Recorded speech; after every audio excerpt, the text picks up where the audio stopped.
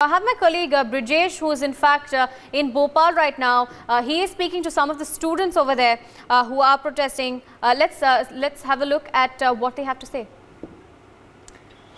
All right, uh, Brijesh, if you can hear me, uh, go ahead and tell us uh, what exactly is the pulse on ground Yeah. in Madhya Pradesh.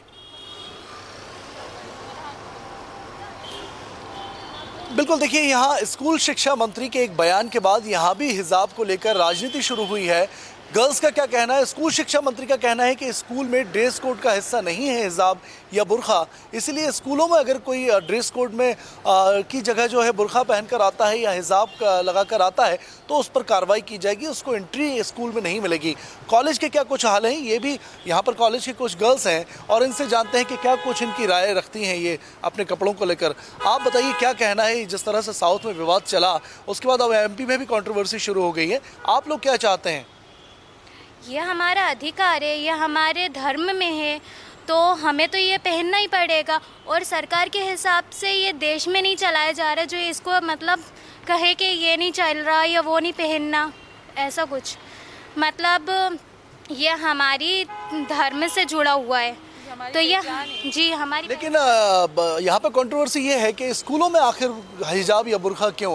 Dress code जो है वो क्यों नहीं नहीं?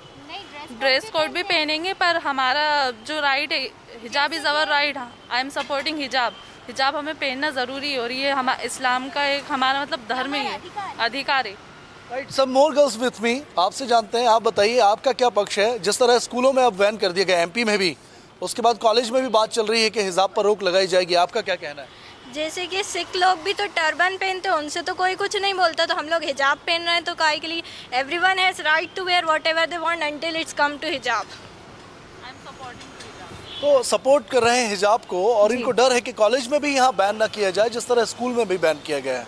जी ब्रिजेश जी और ये भी बताइए जो मध्य प्रदेश में अभी हुआ है एजुकेशन मिनिस्टर ने भी कहा है कि hijab is not part of a uniform official uniform नहीं होगा डिसिप्लिन एक फोकस रहेगा अभी एडमिनिस्ट्रेशन के और आ, वो वाले इंसिडेंट के बारे में बताइए जिसने मध्य प्रदेश में यह कॉन्ट्रोवर्सी शुरू किया है।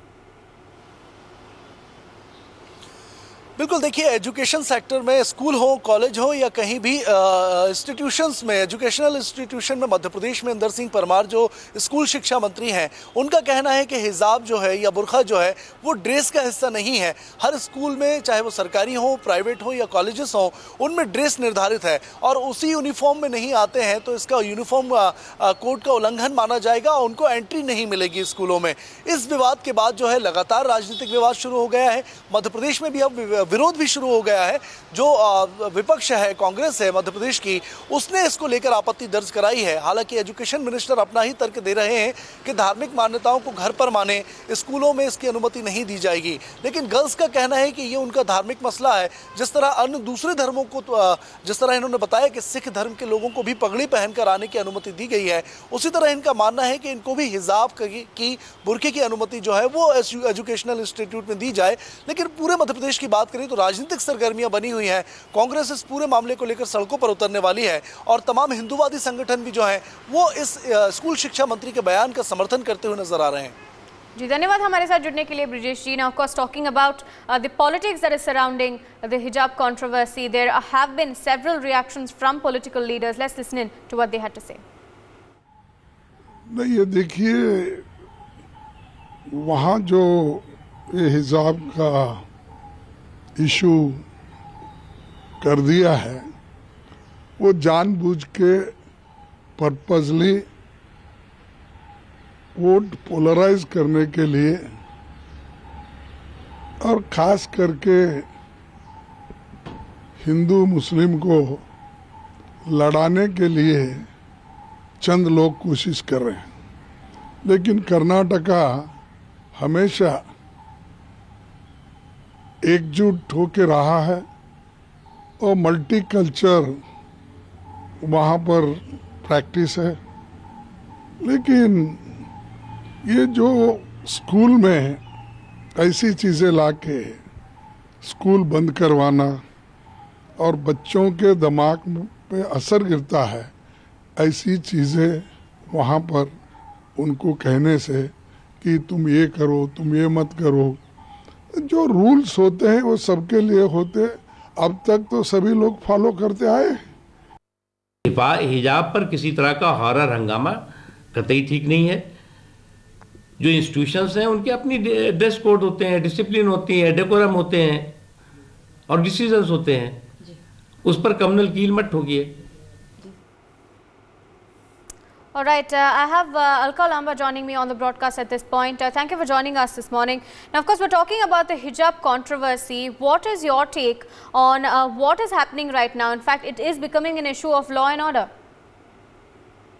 नहीं मैं अभी आई थिंक किसी लीडर को सुन रही। थी लगता है बीजेपी के ही होंगे जी आप एक महिला है लड़की है मैं एक महिला लड़की हूँ मुझे ये बताइए वो जो तस्वीरें आपने और हमने देश ने देखी हैं आप और हम शर्मसार हुए या नहीं हुए एक महिला जो बुरके में है, उसके पीछे पचास सौ भगवाधारी किस तरीके से उसको दौड़ाने की कोशिश करते हैं? मैं उस बहादुर बेटी को सलाम करती हूँ, जिसने डरी नहीं, रोई नहीं, खड़े होकर इन इन इन इन भेड़ियों का मुकाबला किया है। तीन दिन के लिए कर्नाटका के कॉलेजेस में ताला लगा दिया जाता है, बंद कर दिए गए। ये छोटी बात है? जिस तरह की तस्वीरें आई जा रही है, जिस तरह का भगवा झंडा लहराने की कोशिश तिरंगा हटाकर इंस्टीट्यूशन पे की जा रही है, क्या वो छोटी बात है?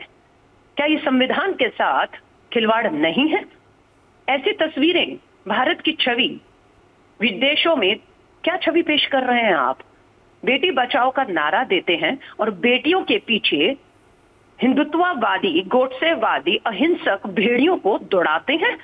और आप कहते हैं, ये ड्रेस कोड का मामला है, ये ड्रेस कोड कब से लागू हुआ है?